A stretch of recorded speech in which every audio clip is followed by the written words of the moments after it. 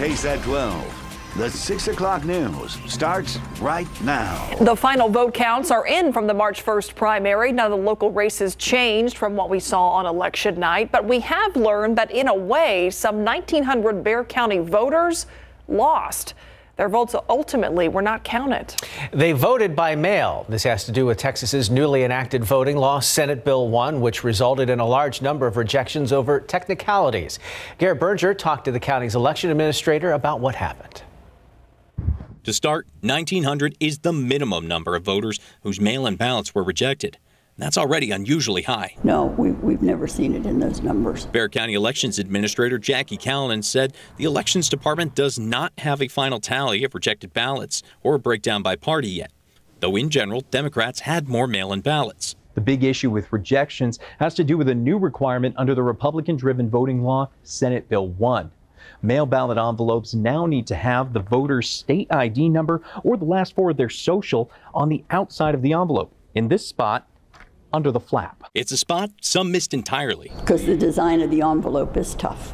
The print is very small by the time they had to put all the legalese on the form. And writing down the wrong number, for example, putting their driver's license when they were registered under their social security, would also prompt a rejection. So I would love to do nothing better but change that or to and and give us both so that we stand a better chance. Callanen says the county tried to reach out to voters whose ballots were initially rejected using phone, email, and letters. Those voters then had six days from the election to try to fix the issue. That deadline passed at 5 p.m. Monday. Callanen said election officials are going to try to see what they can do to smooth out this issue and make sure it doesn't happen again. That's especially important as we have two elections coming up quickly, eh, both of them in May. Live at the Elections Department, I'm Garrett Berger, KSAT 12 News. All right, thank you, Garrett. Another big story we are covering this evening. A five-year-old boy missing in Bandera County for about 17 hours is back home and safe tonight. The boy was reported missing around 6.30 yesterday evening after going for a walk with his dog. More than 100 volunteers answered the call to help look for little Cameron. After spending a cold night alone, Cameron was found just before noon walking in a field today, spotted by that DPS helicopter. That chopper landed, picked him up, and took him to his family. So I said, Did you see us? Did you hear us yelling? And he said, Yes. he did. And he said, and he waved him down. We thank God. We thank everybody that was here. The boy was dehydrated and had hypothermia. He was taken to a hospital to be checked out, but he's expected to be okay. Back here at home, San Antonio police making an arrest uh, the, uh, in a, a, murder of a woman who was killed three years ago. 36-year-old Rogelio Mojica was arrested yesterday. He has been charged with murder in connection with the deadly shooting of 37-year-old Annette Juarez back in March of 2019. According to investigators, Mojica shot her, then abandoned her vehicle along Highway 90 on the west side. Police say the pair had an on again, off again relationship and he had a history of family violence. Investigators used ballistics information and surveillance video to co connect Mojica to the crime, according to the arrest report. His bond set at $500,000. San Antonio police looking for suspects in a shooting after finding a man shot in the back downtown early this morning. This happened around 2:30 near East Houston and the Alamo. Investigators don't have much information to work with here, but we're told the man was found lying in the middle of the street. He was taken to a hospital with what were believed to be non life threatening injuries. So far, no word on any possible suspects. New information now in connection with a deadly crash on the southwest side from early yesterday morning. The man killed in that crash has now been identified as 21 year old Isaiah Felix Velasquez.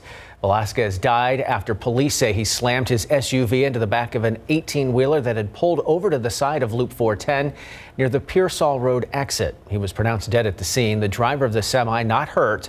The cause of that crash still under investigation. New at 6, it is the first local survey of its kind created by teenagers for teenagers. The questionnaire about mental health issues was released today for teens ages 12 to 19.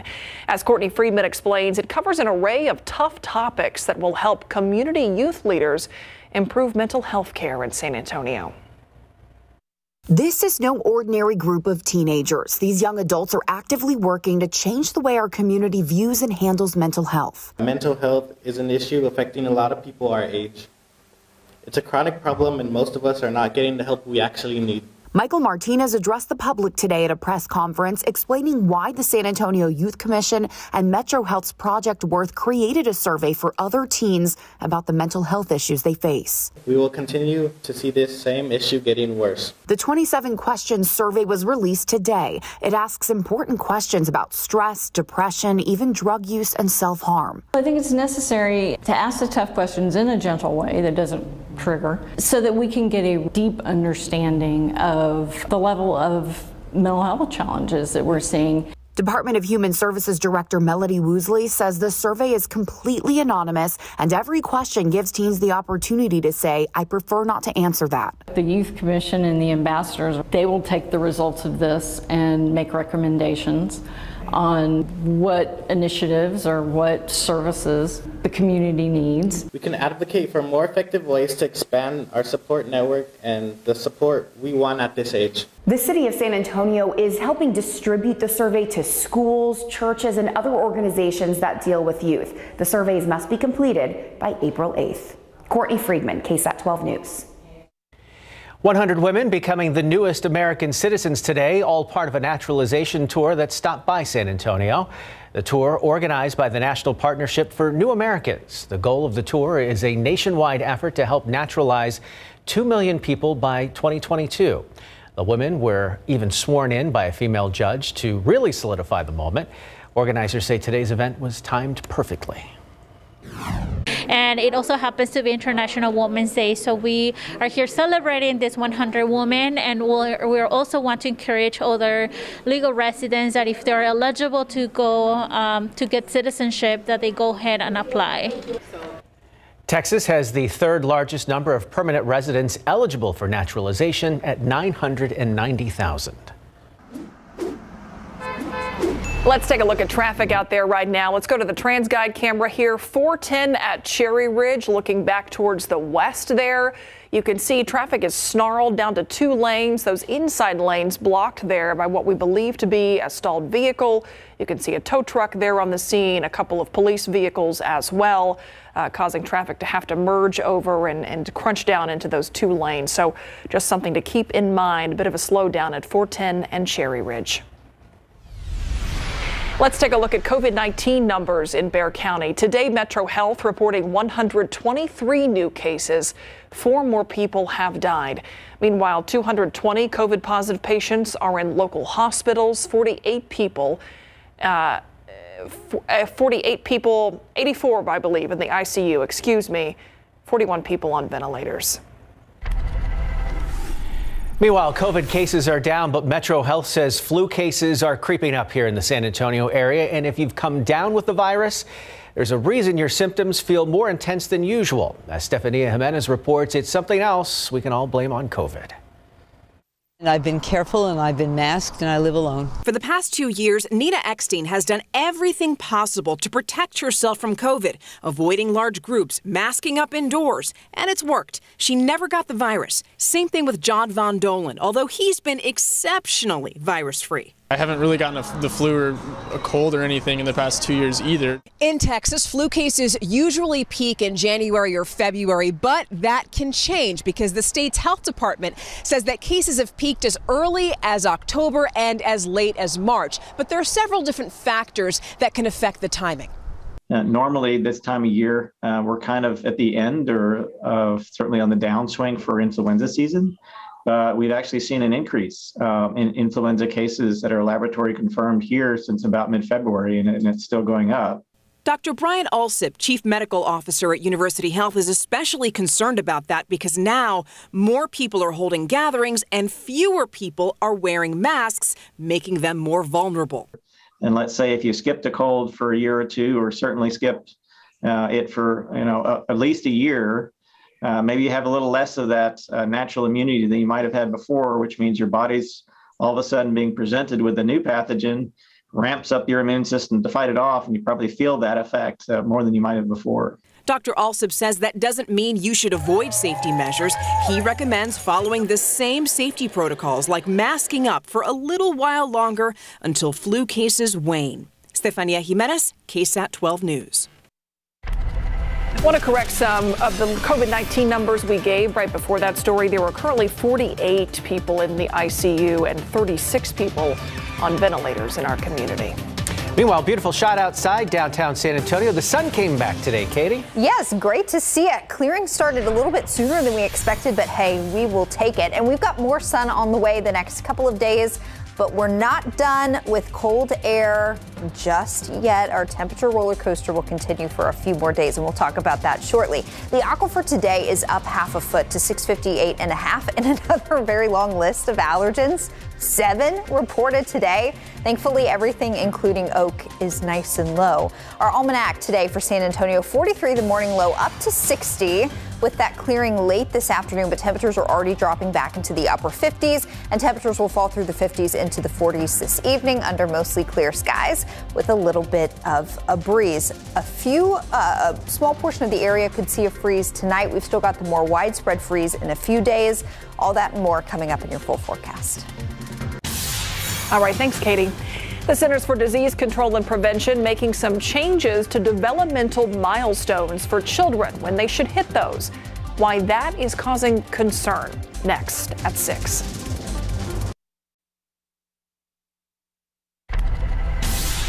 Coming up tonight on the Night Beat, several children dead, their parents placed in handcuffs. Tonight, Metro Health hoping to save lives with a free class. The life lessons being laid out and what caretakers are saying after taking this course. Plus, Gun violence and gun related deaths are on the rise, not just here in the city of San Antonio, but countywide. The Bexar County Sheriff tells us it's all linked to one issue. Meanwhile, in the University Hospital emergency room, they're feeling the effects. I'll have that story coming up on the Night Beat. New at 6, some changes to developmental milestone checklists for children under 5 that has some health professionals and even some parents concerned. This is the first time the Centers for Disease Control and Prevention has updated that list since it was released back in 2004. It actually delays the timeline when kids should be doing things like crawling, talking, even walking. Alicia Barrera spoke to some professionals who explain these changes and what it means for parents.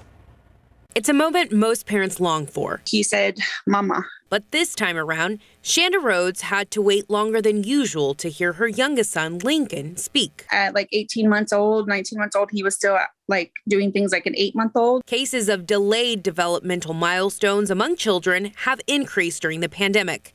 And while the CDC's latest change is in an effort to help parents identify these delays more quickly, Health professionals fear it could have the opposite effect of more children falling behind. The CDC is now saying that at 30 months, um, children should have about 50 words. Now, our data, our research, our charts that we follow, we see an average of about 400 words. Lindsay Cardenas is a speech language pathologist for Assessment Intervention Management, or AIM. Our biggest fear is that with the changes, people are going to say, oh, well, I don't have to worry just yet. But research shows a correlation between language and academic success. You do think something is concerning, something is off, ask questions. Ask questions to your pediatrician. In the case of speech pathology professionals, the CDC's recommendations will not change their approach. Pediatric physical therapists are also showing concern after the CDC no longer lists crawling as a milestone.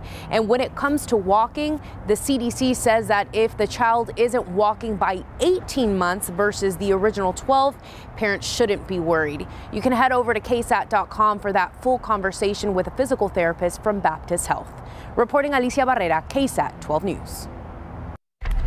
Take another live look outside with Sky 12, continuing our spring break week tour of things to do high over the San Antonio Zoo, always a popular place on spring break. Oh, yeah, and of course, it turned out to be a beautiful day for it. It started out nice and gray, but things turned around, Katie. Yes, and we're going to see a couple of much nicer days Wednesday and Thursday. So if the zoo was in your plans this week, you will have much more enjoyable weather the next couple of days. Friday, that's a different story. Friday is when things turn cold once again. So still plenty to pay attention to in the forecast. Let's start off with a look at today's uh, rainfall estimates. We had some showers and even a couple little thunderstorms east of 35, generally between Gonzales and the Houston area early in the day. Places like College Station got a good drink of water there, a bit more than a half inch of rain, but places like Victoria, three one hundredths of an inch, also just two one hundredths of an inch of rain in New Braunfels. Um, and unfortunately, that really wasn't anything for us, didn't help us out at all. And even that rain that fell, though, really didn't fall where it was most needed. Where we really need it the most is where we have a swath of extreme drought from south of Eagle Pass all the way over into a portion of Live Oak and either even southern Atascosa County.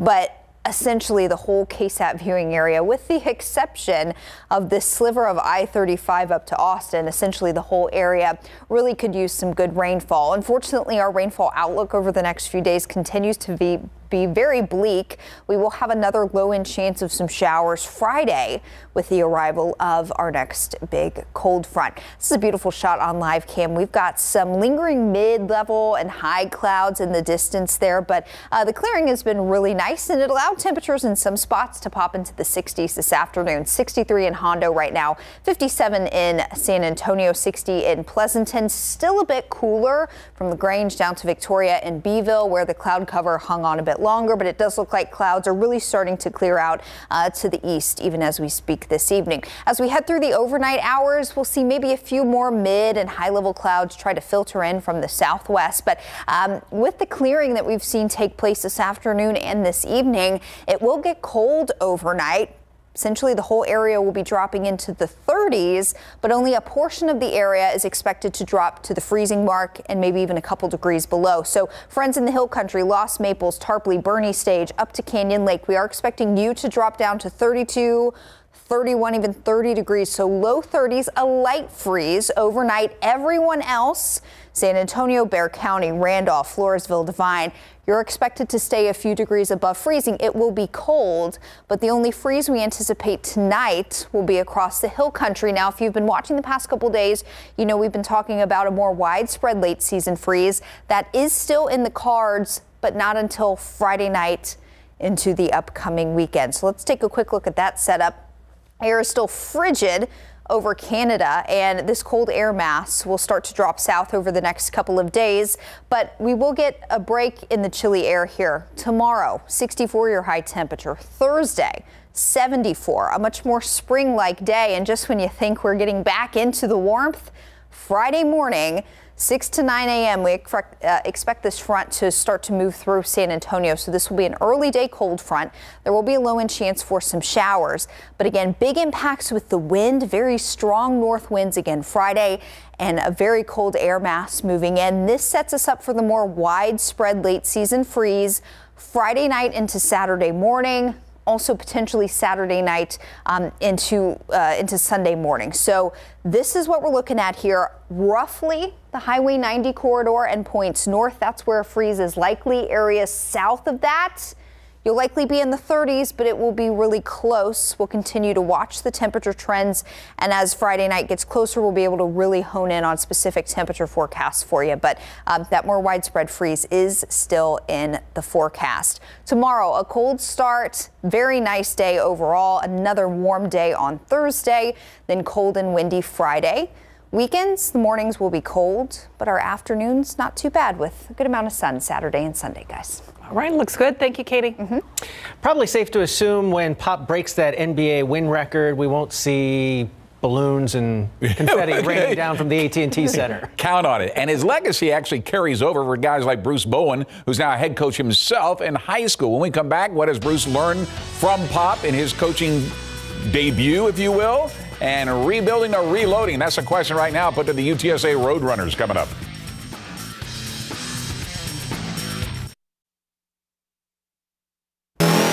Coach Gregg Popovich can make NBA history as early as tomorrow night with a win against the Toronto Raptors in the AT&T Center. That's after he's able to tie his former Boston mentor, Don Nelson, with his 1,335th victory last night in the 117-110 win over the Lakers in an unprecedented 26 seasons with the Spurs. Now the five-time NBA champion can break that record with his next victory with six games left in this homestand.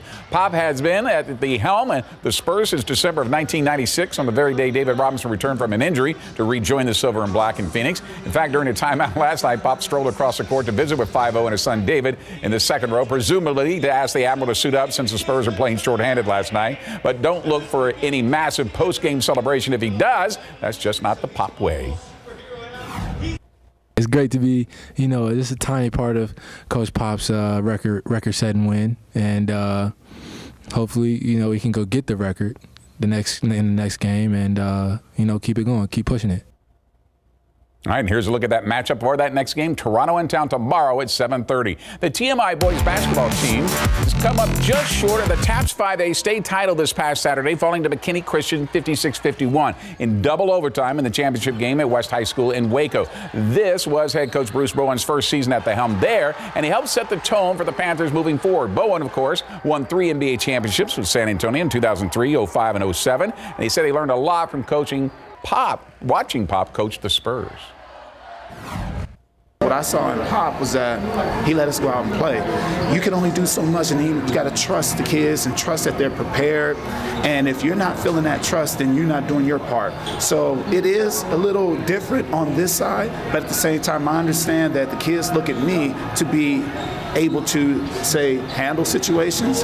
If I'm frantic and and I lose my head, then they're going to lose their heads. So I have a responsibility to them to make sure that I do what I'm supposed to do as well. All right, Bowen's son Ohani led the Panthers 17 points as one of eight players who will return to TMI next season. The UTSA Roadrunners continue their spring workouts with day two on campus, getting ready for the 2022 season. That opens with three huge opponents, Houston at home, and then back-to-back road games to Army and Texas in Austin. This will be Jeff Traylor's third season as a head coach of the Roadrunners, who saw major improvements from his first season in the middle of COVID with seven wins in a jumble season to a school record 12, 12 wins last season, including the first ever Conference USA championship. The Roadrunners have lost some pretty good players from last year's championship teams, such as Sincere McCormick, Spencer Burford, and Tariq Woolen, to name a few. I can't tell you how many guys today in stretch line, I looked them right in the eye and said, This is a very, very important spring for you.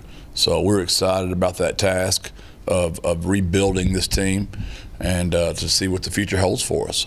And the UTSA Runners kick off their season at home against Houston on September the 3rd.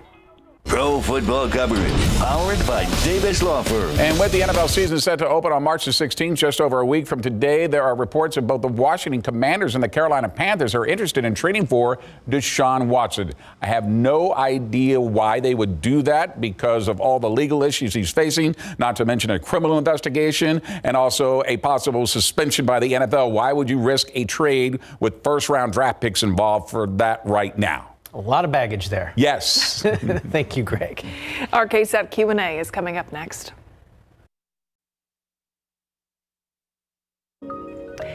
Nine out of 10 people living with the condition don't know that they even have chronic kidney disease. That is a statistic from the National Institutes of Health. And March is Kidney Awareness Month. So we're going to do that. We're going to talk about awareness and the things that we all need to know. We're going to bring in Tiffany Jones Smith with the Texas Kidney Foundation for our Q&A today. Tiffany, thank you for being here. Um, there's a lot of education that needs to be done when it comes to kidney disease. So let's start there. When we say kidney disease, what is that? What does that mean? Well, thank you. First of all, thank you for having me. And uh, chronic kidney disease is when your kidneys are not uh, functioning properly. Your kidneys uh, clean toxins from your body. Um, and so when they're not not cleaning toxins properly, uh, that's chronic kidney disease. Unlike other diseases, Tiffany, uh, kidney disease is one that you might not even know that you have. She just mentioned that statistic right off the bat. So, mm-hmm. what can people be watching for? What are some of the risk factors and warning signs folks need to be aware of? Well, kidney disease, the reason why um, kidney disease is dubbed the silent killer is because it doesn't show ready risk factors immediately. So, the way that you find out whether or not you have kidney disease is by having your blood and urine tested. Is there anything that people can do to lessen their risk? Um, well, the, the two leading factors for kidney disease are diabetes and hypertension. Um, so, eating better, uh, living better. Those those are ways you can make tweaks to your diet and and make a big change in uh, in your risk factors for kidney disease. A 10% change in your BMI and and uh, it, it's a life changing experience. Certainly, San Antonio has its issues with diabetes and other chronic health issues. How does San Antonio and Bexar County stack up with the rest of the country and the rest of the state when it comes to kidney disease? Well, Bexar County has a, a high incidence of uh, kidney disease, and it's related to diabetes. So, um, Texas houses 10% of the kidney disease population in the United States. So, it's a, a, a big problem here. And we actually have something in place to address that here in Bexar County a huge public health initiative. Talk to us about that and what in, what's entailed in that and the significance of the size of this program. Yes, let's talk about it. it's called uh, Silent but Deadly because kidney disease is silent but deadly. It is a disease that goes largely uh, unnoticed, but it is devastating to those who end up with kidney disease. Uh, the reason why we started it is because uh, we know that early identification is the best way to slow down and stop the progression of kidney disease. The sooner you find it, the more you can do to maintain your quality of life. You mentioned testing was a way the, to figure out whether or not uh, you might be susceptible to this. Who should be getting tested? And how if frequently? If you've been diagnosed with diabetes or hypertension, if you have cardiovascular disease, or if you are obese, you should get tested for chronic kidney disease. Is that something and you should do annually, or how often? Is it just one test and you know? You should do it annually. Um, and you want to test the blood and the urine, preferably. Um, w- we have the largest public health initiative that's ever been done in a single county um, happening here in Bexar County. We're testing 8,000 people uh, for chronic kidney disease with uh, an at home kit called uh, our Kidney Check. And it was given to us by this wonderful company called Healthy IO. Uh, and it's simple pimple. All you, you do is pee in your cup, put your dipstick in, put it on the green, bo- uh, put your dipstick stick on the green board, put your phone over the, the green board, and it will uh, give you the results at home and us the results at Texas Kidney Foundation. I'm glad you mentioned the at home testing. I know we have done stories uh, about the availability of those tests. So, is mm-hmm. that something that people can really rely on? Are those easily accessible? It's something that they can rely on. They are easily accessible. You just go to www.txkidney.org and you can uh, take your, your test and uh, it, you answer 12 questions and we send the at home kit to you. So, yes, it takes about two weeks for the kits to get to you. And uh, as soon as it gets there, you can take the test. And then, what are some of the risks if you don't take care of this? Once you find out that you might have some issues and, and you don't take care of it, what are some of the problems people are looking at long term if you don't deal with this? Well, the worst thing that we're looking at long terms long term would be uh, end stage renal disease. And right now, uh, end stage renal disease is uh, the only therapeutic we have for it. We have two two possibilities: a therapeutic, which is dialysis, and everybody knows uh, what dialysis is. In, in the city of San Antonio, uh, we have over 50 dialysis clinics. And uh, so dialysis is all around us. So this month is Kidney Awareness Month, but then on Thursday, World Kidney Day. So lots of opportunities to learn more about this disease and raise that awareness. Yes, lots of opportunities to learn more. And uh, Texas Kidney Foundation, uh, as you know, I've lost uh, 12 family members to chronic kidney disease. So oh my goodness. I understand what the cliff that people are being pushed off. And Texas Kidney Foundation, we are committed to. If, we, if you're being pushed off that cliff, buddy, we're we're willing to jump and free fall with you to help you land softly. We know what early detection is the first step, but we have a comprehensive program uh, connected to what you can do next steps wise in terms of, of your kidney health. Uh, and and our wonderful partners, Texas Diabetes Institute. I mean, those guys, they are the best of the best. Terry De La Haya is uh, she is a community hero, and uh, really, whenever we're doing stuff on uh, Minority Health Month and that kind of thing, we need to be talking to that lady because she's amazing. so this work um, that you do, obviously very personal for you. Uh, certainly, there's a passion behind it. So Tiffany Jones Smith with the Texas Kidney Foundation. Thanks for being here to educate all of us, and uh, good luck with the events that are happening this month as well. Thank you so much. Thank you for your time. We'll be right back. Here's a question for you. Did your muscles take a break during the pandemic? COVID forced many people to take time off from the gym, but how much did our muscles suffer? Ursula Perry now with new research that shows your muscles have memories. If you have to put your workouts on pause, you might worry that you'll lose your fitness gains. Well, luckily, there's something called muscle memory. As long as you stay active, you're creating muscle memory. You're in the process of that. Here's how it works. Every time you work out, you build a foundation of strength and endurance. So your muscles literally remember what they're supposed to do. If I ran a mile, and I'm used to running a mile, and I stop running a mile for a while, and I begin to start running a mile, there's a chance that I will adapt to that much faster than never having run a, a mile. A new study conducted in mice suggests that you build muscle memory no matter how long it's been since you've hit the gym. Researchers found that animals that participated in weighted wheel workouts were able to add more muscle more quickly when they retrained after 12 weeks of inactivity, as compared to the mice that never trained. That 12 weeks is about 10% of the lifespan of a mouse. Scientists say these studies suggest that human muscles should remain primed in response to the exercises when they start again, even years later and all you're doing is recalling it. If you took a break from the gym, remember you're still going to have to warm back up to a regular routine. And here's another tip if you're not going back to the gym yet. According to a study, if you increase your protein intake while not working out, you might be able to maintain your lean muscle mass that you earned when you were.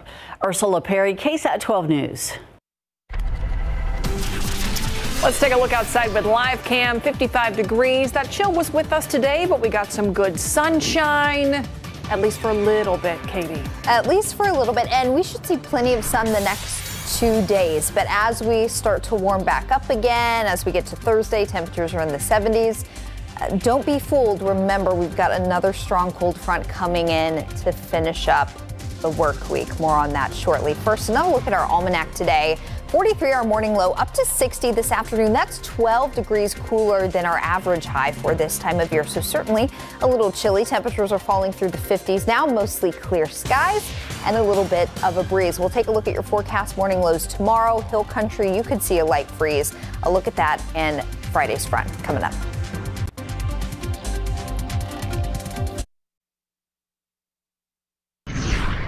Not the greatest weather to kick off spring break, but perhaps that afternoon sun enticed some people to get out of the house with the kids today. Yeah, it was something.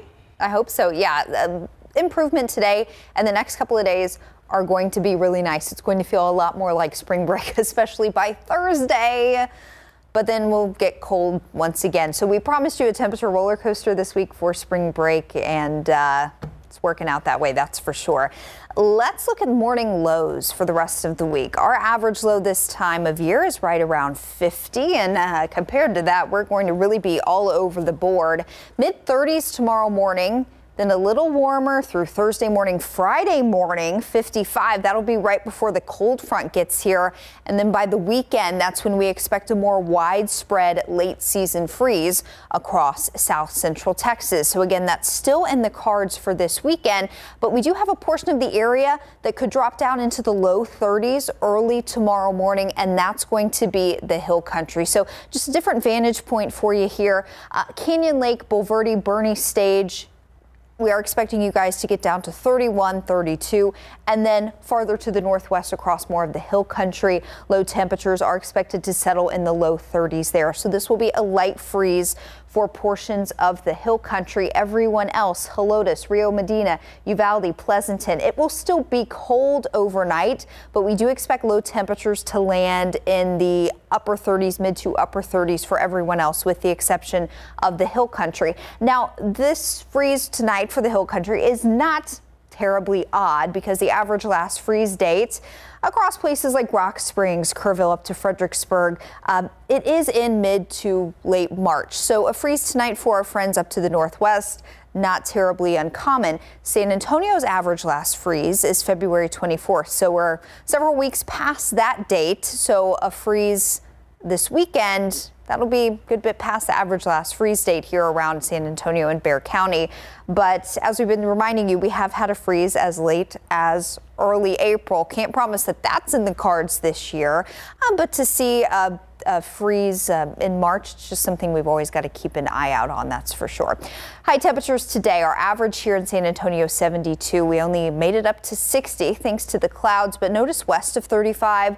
Cloud cover broke up there sooner, so it was able to warm up to just shy of 70 in Cotulla and almost up to 70 in Del Rio. Currently sitting at 67 in Del Rio, 57 in Pleasanton, and 54 in Kerrville. Cloud cover has really cleared out now, even areas east of 35 that were holding on to that cloud cover. Um, a bit more over the past couple of hours. All that will continue to move east. I can't rule out some mid and high level clouds filtering in overnight through early tomorrow morning. But overall, we're kickstarting a couple day trend here with a lot more sunshine. We'll see plenty of sunshine Wednesday. That will continue into Thursday, maybe just a few fair weather clouds here or there, but overall nice and warm as we get into Thursday. And then cold front gets here Friday morning. ETA for San Antonio right now is roughly between about 6 and 9 a.m. Give us another day or two and we'll be able to, you know, make that window a bit more specific. But this will be an early day cold front for us. This will come through with a strong north wind and also another chance for some isolated showers, mainly through the first part of the day on Friday. Um, and then our rain chances will drop off, but we're likely going to stay overcast Friday, strong north winds and temperatures falling to right around 40 Friday afternoon. So I expect we'll start off 55 Friday morning and then land right around 40 Friday afternoon. So kind of an upside down day, gray and very windy. North winds could gust up to 40, 45 miles per hour on Friday. So another little taste of winter here as we wrap up the week. Now this weekend with that cold air mass, that's the more widespread freeze, but our afternoons really won't be too bad. We'll see plenty of sun this weekend and by early next week, highs will be back closer to 80, guys. All right. Thank you, Katie. Mm -hmm. In case you missed it, next.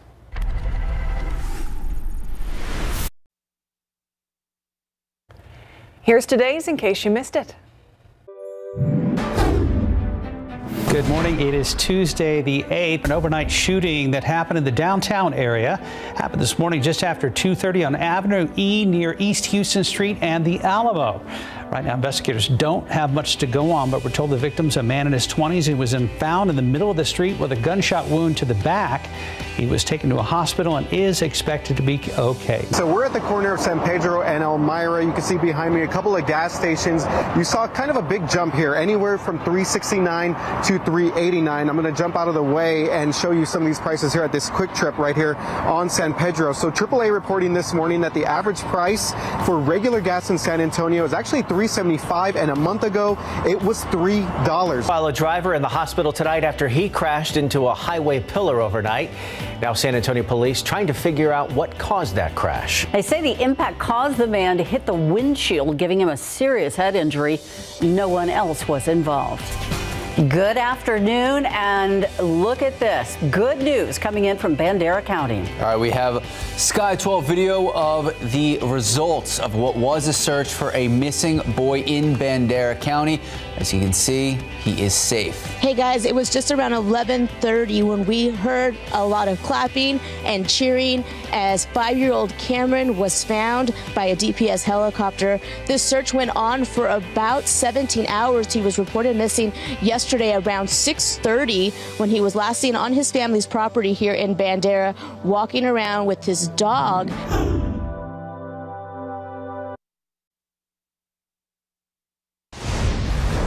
All right, finally at 6, a neighborhood in Houston seeing some unusual action when a pig decided to make a run for it. The nine month old pig, named, of course, appropriately Bacon, got out and decided to check out the surrounding houses and yards. One of the neighbors used some crackers to keep Bacon occupied until animal control arrived. Apparently, someone left a door open, and well, Bacon saw his chance and made a run for it. The owner of the hog could be looking for a ticket for having a pig in the city limits. No word yet if that little piggy went wee, wee, wee all the way home. Looks like he's pretty comfortable. Yeah. I mean, somebody saved the owner's bacon. I'd be a little worried about having a name like Bacon, but hey, should have ran faster. Kind of cute. And Crackers did it, you know? That's that's all he needed was just a few Just some Ritz. crackers. Well, I can kind of relate. You know, when you got a craving. A good Ritz cracker, man. I'll do it. Okay, I don't know how we segue from that to the weather. There's a lot going on here still over the next several days. Strong front Friday morning turns things cold again, and then a freeze likely across a bigger portion of the area this weekend, guys. Somebody who works in print asked me if TV people just come up with these puns. Like, is that part of our training? No, it just happens.